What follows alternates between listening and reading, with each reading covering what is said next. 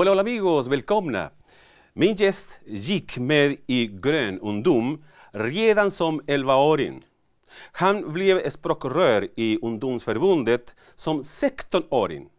Och i Sverige inte riksdagsledamot när han var 19. Jag tror att ni vet redan vem som gäller. Gustaf Fridolin, välkommen! Tack så jättemycket! Eh, nu är Gustav parlamentariker och språkrör för Miljöpartiet tillsammans med Åsa Romson. Mm? Det verkar att du har planerat ditt liv noggrant, exakt. Har du gjort något fel eller någonting som du ångrar? Kan du berätta? Ja, det har jag, det har jag säkert gjort. Eh, men och det är, inte, det är inte så väl planerat. Jag hamnade i politiken ung för jag fick en straffuppgift i skolan. Okay. jag, hade, jag hade snackat för mycket på lektionerna. Ja. Och just det där har ju förföljt mig sen att jag snackat för mycket. Det, det, delar jag dessutom med ganska många av mina kollegor i politikervärlden. Men vi, jag och tre kompisar fick en straffuppgift och vi skulle titta på en valdebatt på TV. Ah, okay. Och det här var ju 90-tal i Sverige. Det blåste ganska kallt, man la ner fritidsgårdar, vi skulle bli 35 elever i klassen. Ja. Och så går vi och tittar på den här debatten och så är det faktiskt en politiker som vågar säga ifrån. Mm. Han säger att de här nedskärningarna på skolan och på fritidsgårdar, de behöver inte alls göra Sverige till ett eh, rikare land. Mm. Vi kan tvärtom bli fattigare när barnen inte får en ärlig chans i skolan. Mm. Tänk om det skulle vara Lars Ohly som eh, istället för att titta på Birger, skulle vara Lars Ohly eller kommunistpartiet på den tiden. Vad skulle hända? Ja, det vet man väl inte, men jag tror inte det, utan jag tror att det som ligger i kärnan av det gröna tänkandet, ja. det som är vår uppgift i politiken. Vi ska prata om det. Ja. det, det är ju att ta ett, ett längre hänsyn, ett längre ansvar än bara budgetperiodens slut. Hur okay, är Sverige ett okay. bra land om tio år? Och då är miljöfrågor där, men skolfrågorna är ju också där. Alltså mm. det vi lägger in i skolan idag, det är ju en investering för hur Sverige ser ut sen. Så jag tycker det var logiskt att det var Miljöpartiet mm. som protesterade mm. mot nedskärningarna i skolan. Du var eh, 12 år när du var i talarstolen första gången på, eh, på Miljöpartiets kongress. Eh, minns vad du talade om. Fanns det någon som ville lyssna på dig? ja, det kan man väl alltid fråga sig. Men det, men det som var det som gjorde att vi kände oss hemma i Miljöpartiet, jag och de tre kompisarna ja, som ja. fick samma uppgift, det var ju att ingen där var proffspolitiker. Mm. Alltså, vi har ju regler som gör att man får inte sitta på ett politiskt uppdrag för länge och alla vi träffade, de hade ju andra jobb. Jag minns när vi gick på vårt mm. första möte så tänkte vi att nu ska vi träffa politiker i kostym och slips. Och det var ju två som hade slips. Det var Kent som, som körde buss och Gunnar som jobbar på bank. Och de tog ju av sig slipsen när mötet började. Det här var liksom vanliga människor med vanliga jobb som tog lite av sin fritid för att mm. Göra Hässleholm och, och världen lite bättre. Mm. Och därför lyssnade de ju också på oss. Men, jag menar, vi, vi, hade ju något att säga för vi kunde berätta hur det var på vår skola. Ja. De erfarenheterna Konkreta frågor. Mm. Ja, det handlade ju om nedskärningarna i skolan. Ja, om ja. att satsa på, på att alla barn får en ärlig chans. Mm, mm. Jag har fått massa, massa chanser i livet och hade jag inte fått dem så hade jag inte fått mm. sitta här med dig idag. jag tycker att de barn som växer upp idag ska också få de chanserna. Ja, ja. Hur, hur, dina föräldrar påverkade eh, din eh, världsbild? Din pappa var inte så intresserad av politiken? Nej, nej, nej, jag kommer inte från någon politisk familj på det sättet. Mm.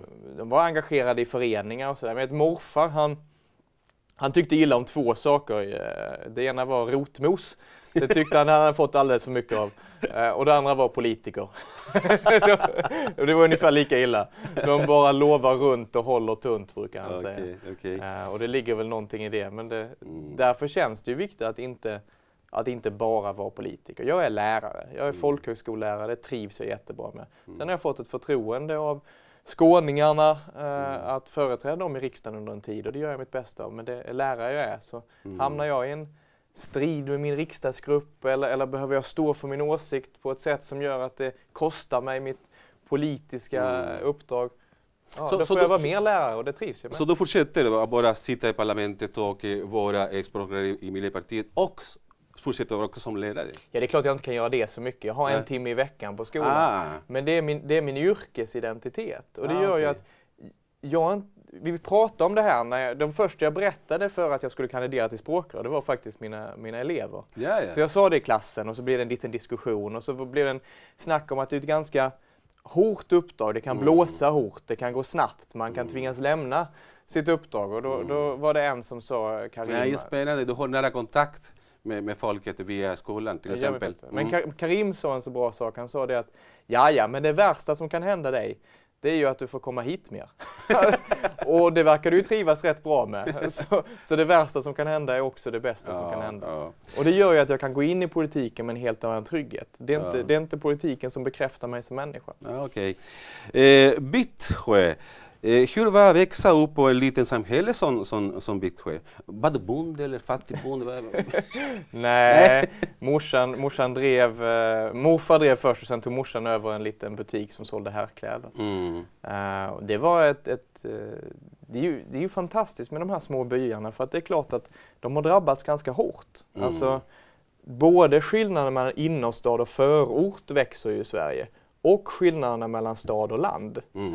Eh, det är svårare att liksom försörja sig på landsbygden, det är svårare att hitta jobb, industrier har Klara sig ner. själva. Mm. Men, men samtidigt finns det ju, precis som i, i sågen dit jag flyttade när jag var 15 utanför Haninge, mm. väldigt aktivt föreningsliv och människor som ser till att byarna håller igång och mm. folk som tränar knattelaget i fotboll och man håller lite koll på varandra och det var mm. skönt, det var en trygghet. Det var en ganska rasistisk område där, där, därifrån du kommer. Ja, det är det. Det får man, det får man säga. Men jag, jag minns det senaste EU-valet var det. Mm. Då åkte jag rätt mycket längs 117 som vägen heter mellan Vittsjö och Hässleholm. Mm. Och då åker man förbi ett tiotal industrier. I stort sett alla är nedlagda. De oj, står där som oj. tomma industrier, ja. påminnelser om att eh, du, du som växer upp här, du, du har inte samma chans som man hade förr. Ja, och framför en av de där industrierna så stod ett valplakat mm. där det stod ge oss Sverige tillbaka. Ja. Och det är klart att i just den bygden, framför just den industrin, ja. så slår det an en viss sträng i hjärtat. Jag, jag fattar det. Absolut. Och vi försökte, i senaste valet så var jag runt med kompisar, vi hade kaffe och bullemöten som vi hette. Vi bjöd in alla, mm, kom mm. på en kaffe, berätta vad ni vill med politiken. Mm. Ta upp samma problem. Men istället för att titta bakåt, ge oss Sverige tillbaka, titta framåt. Vad skulle vi kunna tillverka här istället? Vad är det mm. världen behöver? Mm. Det är klart att om, om vi börjar tillverka våra bränslen till våra bilar själva i Sverige istället för att köpa olja från skurkstater. Mm. Det är klart att vi hade haft en helt massa nya jobb i Sverige då. Ja, Kommer du ihåg Anna Kinberg? Hon sa stockholmare är smartare än lantisar. Ja. Ska jag ta det personligen? jag vet inte, jag frågar dig. Det, det är på det sättet hon ja. ser svenska folket. Nu är hon riksdagsledamot för Moderaterna i Stockholms län såklart. Ja, såklart ja. Vill du kommentera det? Nej, jag är väl lite av båda. Jag har både växt upp i, i en liten by och i ett miljonprogram utanför Stockholm. Mm. Och jag, på många sätt så är det verkligheter som, som hör samman. De överlever och lever och ger chanser därför att det finns så många människor som engagerar sig. Ja, och... Människor som har föreningar, som, som tränar knattelaget i fotboll, som kokar kaffe i pensionärsföreningen. Men det är också områden där vi måste satsa mer. Se till mm. att skolan funkar bra, se till att biblioteket finns där, se till att det finns vuxna som, som barnen kan träffa och ha som förebilder. Absolut. Är ansikten, ansikten så jag, i politiken. Eh, som partiledare till exempel du, Åsa Romson, Centerpartiledare Annie Lööf, Vänsterpartiet också väljer ni, ni partiledare. Eh, tycker du att det behövs nya ledare nu i Sverige? Nej, ja, jo, jag tycker att, jag, jag, tror att, jag tror att man kan bli en ganska dålig politiker om man aldrig gör någonting annat jag, jag, jag, tycker att man inte ska få ha ett politiskt uppdrag alldeles för länge. Mm. I Miljöpartiet har vi de reglerna. Att man, mm. man bär ett förtroende under en tid och sen är det dags att gå ut och göra andra saker. Och det är mm. just för att målet borde ju vara att alla någon gång i sitt liv hade haft ett politiskt uppdrag. Varenda människa i det här landet bär ju på erfarenheter ja. som bara de har och som politiken behöver. Och idéer om hur Sverige skulle kunna bli lite bättre. Mm. Och de idéerna och erfarenheterna måste få plats i politiken. Och då kan inte några av oss sitta på de stolarna hela tiden. Då säger max två perioder i parlamentet? Ja, eller? Vi, våra regler säger tre, högst tre, tre perioder, sen så ja. får du ut och göra något annat. Eh, Miljöpartiet har aldrig varit så starkt som under eh, Peter Eriksson och Maria Wetterstrand, eh, Gustav, ledningen. Modellen funkade med Wetterstrand och Pettersson. Varför du och Åsa eh, Romson skulle lyckas?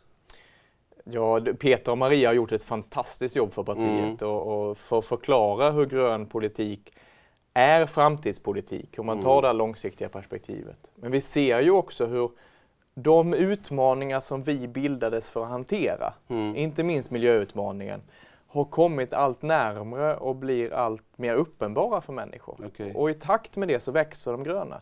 I Tyskland är man idag ett 20-30 procents parti. Man har tagit över en delstat, Mm. Baden-Württemberg, stor industridelstat, faktiskt större än Sverige. Ja. 11 miljoner invånare.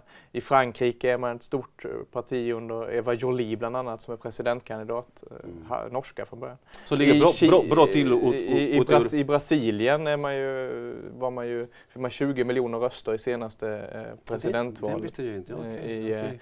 Colombia var man det näst största partiet under Anatanas Mockus i senaste presidentvalet. Så det, det är ju en rörelse som Ja, men det växer kommer hela från världen. ursprungligen eh, befolkningen, sådana såna rättigheter kanske därför. Bland annat, Ja, bland annat. Det är ju en Mm. fråga som drivs mycket i bland de sydamerikanska Absolut, gröna, såklart. Mm. Gustav, finns någon kontinuitet mellan gamla och nya språkrör? Ja, ja, vi snackar, Till ju, exempel? Mm. vi snackar ju mycket såklart. Och, Ja. och den, den, jag känner lite att vi är mitt i steget att bli det där breda politiska alternativet Mm.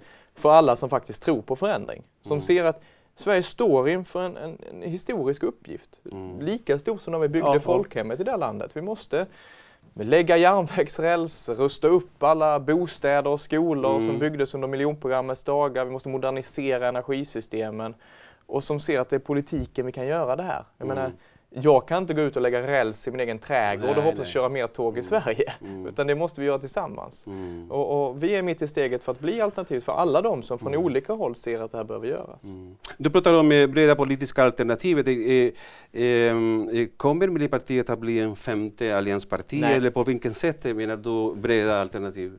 Alltså Alliansprojektet, det var ju ett projekt som bildades i någon, någon badtunna var det väl. Eh, och, och de hade vissa politiska mål. Ehm, det är inte våra mål. Tvärtom, en del av det de har gjort tror jag är väldigt farligt. Ja. De förändringarna i trygghetssystemen de har gjort där man utförsäkrar sjuka, det, det är någonting som, som jag tror är väldigt farligt för att om vi vill att människor ska gå från ett jobb till att utbilda sig, Ja, ja. starta ett företag, Mm. då måste man ju känna att det finns ett trygghetssystem där. Ska man Mm. ut på linan vill man veta att det finns ett skyddsnät. Mm. Jag växte själv upp med en, en, en mamma som, som blev, blev sjuk när jag var en tio år. Mm. Hade jag varit 15 år yngre, då hade hon varit utförsäkrad och jag hade varit en del av den där Ja, barnfattigdomsstatistiken. Det är rätt, det är rätt. Så att nej, vi kommer aldrig bli en del av alliansen. Mm. Men vi är en självständig grön röst Mm. som vill bygga ett Sverige som håller ihop igen, Ja, där ja. alla får en ärlig chans och vill ta oss an den här klimatutmaningen. Utan att riskera eh, eh, partiets profil? Ja, självklart. Men, men att vara breda handlar ju om att det är så många fler nu som ser att det här behöver göras. Mm, Går du in i en mm, industri idag, vad diskuterar man på trefikat? Ja, vilka chanser har vi att finnas i ny tid? Jag menar, vi har inte obegränsat med råvaror längre, vi har inte Mm. obegränsat med energi. Vi måste ställa om vår produktion till att tillverka det som framtiden behöver. Vad diskuterar man i styrelserummet? Jo, precis samma sak. Ja, absolut. Alltså det här är en utmaning som någonstans binder samman hela samhället. Mm. Från styrelserummet ner till, till fabriksgolvet. Mm. Och det är den utmaningen vi måste ta nu. Mm, absolut. Grön identitet och ideologi, eh, Gustav. Eh, grön politisk teori, eh, vad vill de gröna? Finns en grön ideologi? Kan du definiera det här? Ja, det handlar ju om att ta sig an den här utmaningen och Ja. ta det här steget nu. Eh, Det handlar om, om att våga ha en politik som är längre än att bara tänka till nästa val. Nej, Eh, att, eh, Se, ja. hur, hur bygger vi ett Sverige som är starkt Mm. om 10 år, om 15 år? Mm. Eh, och då ligger ju miljöutmaningen mitt i det. Utbildningspolitik, att satsa på skolan ligger mitt i det. Men också att låta varje människa växa till att bli de bästa de kan vara. Ja, ja. Att se till att det finns trygghetssystem som fungerar, att se till att det finns jobb till människor. ehm, Att se till att människor får vara aktiva i politiken, får engagera sig. Mm. Jag tror att vi kan bli den, den rörelse som återigen öppnar upp politiken. Mm. Idag är det alldeles för få människor som engagerar sig politiskt. Man sitter på läktaren och känner att Det, finns det där någon, borde ni göra. det finns någon sorts politikerförakt idag. Ja, det finns en för stor klyfta mellan väljare och de som väljs. Mm, mm. Eh, Och jag tror att, att vi måste överbrygga den därför att det funkar inte. Vi har den mest välutbildade befolkningen någonsin. Ja. Men vi har kanske det torraste och tråkigaste politiska samtalet någonsin. Mm. Man kan inte vinna val genom att ha snyggast slogan. Nej, Man vinner val genom att ha en genomtänkt idé som Mm. kanske tar lite längre än 20 sekunder i rapport att förklara. Ja. Men som människor får vara med och formulera. Mm. Det är en idé. Eh, finns likheterna mellan socialism och, och den gröna ideologin? Om det finns någon likheter eller vad, om vi skulle placera ideologin, om, om det går? Jag tror att man gör fel i att placera den på den skala som växte fram och de konflikter som, som fanns i industrisamhällets början. Ja, okej. I, idag så existerar ju i stor utsträckning andra konflikter. Mm, De, de ser mm, annorlunda mm, ut. mm. Men det är klart att i solidaritetssynen, att ha ett samhälle som hänger ihop, Mm. där har det varit logiskt för de gröna att ofta samarbeta med Mm. socialdemokrater. Eh, Så har det varit i Sverige och så har det varit i, i eh, Tyskland och så har det varit eh, runt om i världen. Så det var naturligt att med, eh, eh, samarbeta med Socialdemokraterna och Vänster. Vad tycker du om? Har ni gjort någon diskussion omkring den senaste valrörelsen? Ja, jag, jag tror att det kan bli ganska fördummande med den här blockpolitiken Ja. där, där man står i två lag och ska Ja. göra upp om makten. Mm. För då blir det ju lätt så att man stänger in sig i stängda rum eller, ja, eller i badtunnor Så för den du säger det var, det var fel att samarbeta med Vänsterpartiet? På det du? sättet som det gjordes. Ja. På det sättet som det gjordes. Där man stängde in sig i ett block, Mm. förhandlade om politiken till sent på natten och sen gick man ut och presenterade för väljarna. Ja. Jag vill ju ha med medborgarna att formulera ett alternativ. Okej. Demokrati är ingen åskådarsport. Folk ska Nej. vara med på plan. Nej. Så det jag gjorde hemma i Skåne, det, det var att vi åkte runt i byarna, by efter by. Och det var jag och Bertil Torekull, en, en äldre man som, som grundade Dagens Industri faktiskt. Mm. Och som varit chefredaktör på Svenska Dagbladet av alla tidningar. Men han tyckte det var så viktigt att väcka liv i politiken igen. Mm. Så vi åkte runt i by efter by, samlade människor och frågade efter deras idéer. Och nu gör jag mitt bästa för att höra av mig till dem och säga, du vet din idé som du lämnade när vi träffades Mm. på fiket i Örkelljunga. Absolut. Det har jag nu lagt in i riksdagen, så här gör vi med det. Vad händer med eh, de gamla medlemmarna i partiet, de som bildade partiet? Till exempel Per Gahrton, eh, Birger Schlaug, eh, Åsa Domeij, Maria Wetterstrand också lämnade politiken. Va, vad tycker du om det här? Att eh, en viktig person i partiet som Maria Wetterstrand lämnar politiken till exempel. Vad som händer med dem? Jo, men, men det ligger ju i det här att vi inte tycker att man bara ska vara politiker. Ah, ja. Men när man då gjort ett, ett, en tid så vill man ut och göra andra. De flesta är ju fortfarande medlemmar och har kanske något förtroendeuppdrag någonstans. Maria till exempel. Eh, hon sitter i gruppen som jobbar med vårt nya partiprogram. Mm. Men, men de vill inte vara försörjda av politik livet ut. De vill inte ha det som sitt Men enda du träffar dem, pratar med dem? eh, Absolut. Birger till exempel? Ja, vi har försökt träffas länge nu. Vi har mejlat mycket om det, men vi ska träffas. Jag läser hans blogg. Okej. Eh, Vi ska prata nu om konkreta saker. Hur ser du på framtidens sjukför, sjukförsäkring? Säger du? Ja. Mm. Nej, vi måste ha ett trygghetssystem i det här landet som Ja. håller. Och jag tror att man ska bygga ihop sjukförsäkringen, a-kassan och försörjningsstödet i en gemensam arbetslivstrygghet. Mm. Så att det inte är så att människor kastas mellan olika kassor och hamnar mellan stolarna. Mm. Det är det vi ser idag. Folk som borde få sjukförsäkring, borde få a-kassa istället hamnar och tvingas be om socialbidrag. Jag tycker det egentligen borde vara en kassa. Sen måste vi höja inte minst grundnivåerna. Mm. Eh, Idag finns det ju inte ens en grundnivå i, i sjukförsäkringen. Du både utförsäkrar folk men har inte haft en tillräckligt hög inkomst så kan det vara så att du knappt, knappt får någonting alls. Ja. Det måste vi införa. Absolut. Miljö och ekonomi. Eh, eh, varför finns en ny ekonomikris? Eh, vad är felet? Vad är det som inte funkar?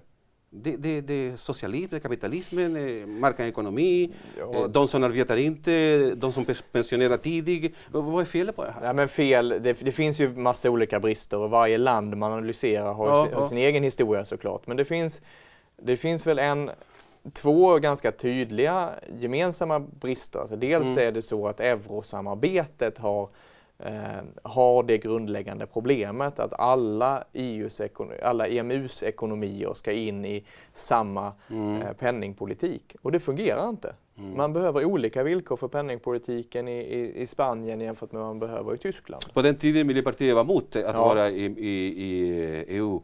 Ja. Och de också var mot EMO. Ja. Mm. Vad tycker du nu? Jag tycker att det är fel att flytta makt längre ifrån människor. Ja, det, det, det, det är samma som... Nu är vi med i EU, det är ingen aktuell fråga med EU, men jag tycker det var ett väldigt klokt beslut att vi inte införde mm. euron i Sverige. Det har mm. tjänat oss väl. Mm. Sen har vi ju den större frågan och det är ju att Eh, vi kan inte lita till att ekonomin ska byggas av billig olja eh, längre, utan oljepriserna kommer att fortsätta stiga. Och då måste vi ställa om ekonomin. Tillverka våra bränslen själva, tillverka vår energi själva. Är det möjligt, eh, Gustav? Är det möjligt som, som idealer som du pratar? Ja, det är klart att det är möjligt att ställa om. Mm. Det, det, det är väl det som är så fantastiskt med människan, att vi har den här förmågan att anpassa oss inför, inför nya verkligheter mm. och ha en sån kreativitet och idérikedom. Mm. Men lite är ju valet att göra den förändringen nu. Se till att lägga järnvägsräls så man kan ta sig fram i Sverige utan bil på en del sträckor, att vi kan flytta gods med, med järnväg snarare än med lastbil. Eh, se till att tillverka andra bränslen där man väl behöver bilen. Se till att, att eh, transportera energi bättre, mm. ta, lägga solceller på miljonprogrammens tak så att vi får ny el och göra det nu, det skulle dels ge jobb, inte minst ge jobb där vi behöver det som mest, i miljonprogrammens förorter mm. och på landsbygden där man kan tillverka biogas till exempel. Men det skulle också göra att vi står bättre rustade framöver. Okay. För alternativet är ju att vi står där med samma oljeberoende, samma beroende av den här resursen mm. när den i, i dagens kvantiteter mätt är slut. Mm. Jag hoppas att det, det, som du säger det går att genomföra i praktiken. Mm. Hur har Sverige blivit ett mer rasistiskt land eller handlar det om missnöje mot, mot de etablerade partierna? Jag pratar om Sverigedemokraterna som nu sitter i parlamentet, 20 mm. stycken. Vad tycker du om det här? Nej, jag, jag tror inte att Sverige blir ett mer rasistiskt land. Eh, däremot finns det en väldig diskriminering och det finns rasism. Det, det är strukturell rasism. Ja. Struktur, det, det, det, betyder detta att det finns i alla möjliga planer inom den offentliga sektorn, i regeringen, makten, allt. Visst, ja. men det, det, det, vet, det vet ju alla som har liksom följt diskussionen om hur mycket svårare en Mohammed en Marcus att få jobb. Ja, Men idag ja. är det svårt ofta både för Mohammed och Marcus att få jobb. Ja. Eh, så att, att, det vi behöver göra för att bryta det här, det är ju att ge alla en ärlig chans. Både ja. genom att bekämpa diskrimineringen men också genom att se till att det finns fler jobb och att det finns fler bostäder mm. och att det, det finns en, en, bättre skola för alla. Mm. Det finns en eh, diplom, ursäkta, eh, Nomi Rapace det var ett program som eh, Carl Bildt var med som heter eh, eh Skavlan. Och det var, han säger, när eh, utrikesminister Carl Bildt sa det är Fredrik Reinfeldt som är statsminister, det var någon rapaz som sa, är han? Jag trodde att det var du. Carl Bildt, vill du kommentera det? ja, jag hade nog snarare skämtat om, om om hans eh, intressen i Etiopien. Ja. Med tanke på de två ja, svenska journalister som Vi tar den på ett annat program. Här är en bok som heter eh, Blåsta. Lite om det här, den här boken? Vad handlar boken om? Ja, boken handlar ju om vad som, vilka kostnader som skapas om man okay. gör stora nedskärningar. Alltså en, en enda barn som, som inte får en ärlig chans, som hamnar lite det vid sidan av. Det är 80-talets ja, generation? Ja, som hamnar lite vid sidan av. Den kostar uppemot 15 miljoner kronor. Mm. Det är ganska många lärarlöner. Mm. Mm. Så att göra de investeringarna nu, se till att det finns fler lärare i skolan, att det är mindre klasser, se till att läraren tjänar bra mm. så att man brinner för sin gärning. Mm. Det är att investera i att Sverige förebygger kostnader framöver och investera i starkare Sverige. Absolut. Från Bittsjö till världen, en, en annan eh, bok. Där. Där. Prata lite om det här. Jo, den där, den där har sitt ursprung i att min fru bodde i London när terrorattentaten drabbade mm. London. Um, och man såg ju hur snabbt det här blev en, en stad där människor blir rädda för varandra. Alltså, Den här staden som, som ju har så många olika kulturer, plötsligt blev folk rädda. Och jag tror ju, och min, de resor jag har fått göra till Irak och till, till Palestina, till Afghanistan har ju snarare visat att de flesta av oss är ganska lika. Ja. Vi oroar oss för ungefär samma saker, vi, tänker på ungefär samma saker, vi, vi tar del av samma världshändelser mm. men vi har väldigt olika förutsättningar. Absolut, det finns absolut. en slags global mm. apartheid. Och hur man kommer ifrån det, det handlar den boken om. Okej. Okay. Det finns vissa kommentarer som är inte så är snälla. Så, Det finns det alltid. Morfar sa det att sticker man ut hakan så får man räkna med en och annan smäll.